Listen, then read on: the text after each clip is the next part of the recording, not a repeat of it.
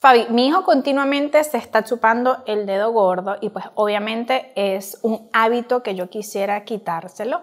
Número uno, porque ya le está saliendo un callo. Número dos, porque huele a saliva. Y pues bueno, porque me da obviamente pena que mi hijo salga a la calle y se meta el dedo a la boca. ¿Qué puedo hacer?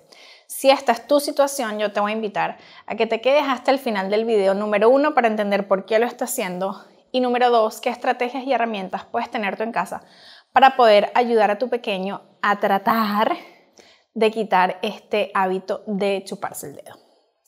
No te olvides de suscribirte a mi canal de YouTube y encender la campanita para que te lleguen las notificaciones de todos los videos que subo a mi canal de forma gratuita, que te educo y te brindo herramientas que estoy muy segura que son de gran ayuda tanto para ti como para tu familia.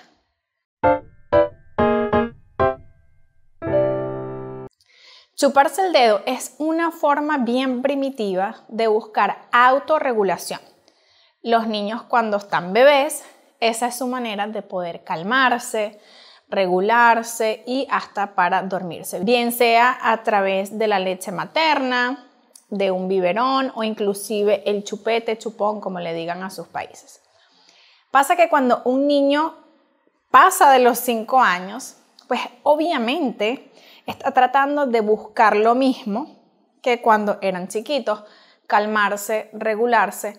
¿Por? Eh, porque no saben otra forma de buscarlo y este mundo parece ser como muy sobreestimulante para ellos. Entonces, esta puede ser las razones por las que las hacen para buscar esa calma, para lograr dormirse y para buscar esa autorregulación. Ahora bien, ¿qué podemos hacer? Número uno, lo voy a dejar aquí escrito en la descripción. Comprarles, se llama ARK Chewy Tube, es una marca. Y utilizar también una botella de agua que la marca es Camelback. Entonces, esas dos cosas para poder darle estimulación vía oral. La segunda es que los niños hagan burbujas con un pitillo y con agua y jabón. Se llama un Bubble Mountain, una montaña de burbujas diario. Si pueden hacer eso diario, lo va a ayudar al niño a también pues estimular toda esta parte y tratar de buscar esa regulación y esa calma que el niño busca vía oral. Pueden ofrecerle también tener una caja en casa que sea como esa caja sensorial en la cual tengan diferentes objetos. Puede ser un squishy ball, como una pelotita que puedes aplastar. Puedes tener un pito, puedes tener una flauta, puedes tener burbujas que puedan soplar para que de esta forma, cuando se sientan muy abrumados, ofrecerle qué les va a servir para poder sentir esa calma. Traten también de buscar qué puede ser ese disparador. ¿Cuándo los niños buscan más chuparse el dedo? ¿Para irse a dormir? ¿Cuándo van a ir a la escuela?